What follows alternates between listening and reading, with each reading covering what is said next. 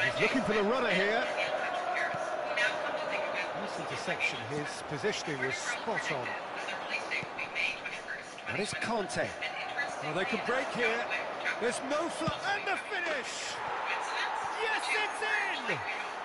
They have grabbed themselves an equaliser.